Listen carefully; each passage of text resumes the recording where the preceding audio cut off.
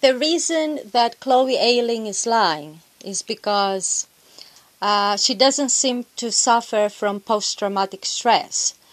If any other girl or woman was in her position, um, she would have appeared to be very stressed. Um, she would be in desperate need of professional assistance.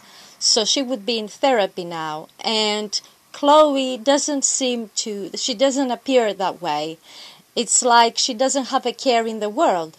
She's all smiles and it's like she's having a blast, you know? And she, well, she got what she wanted. She wanted to be famous. So she is famous now. And apparently she's making loads of money from interviews, photo shoots, all kinds of stuff.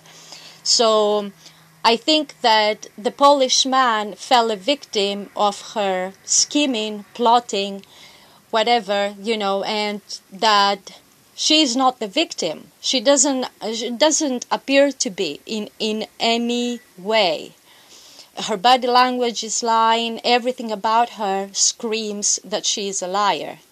So this is my honest opinion on Chloe Ayling and thanks for listening.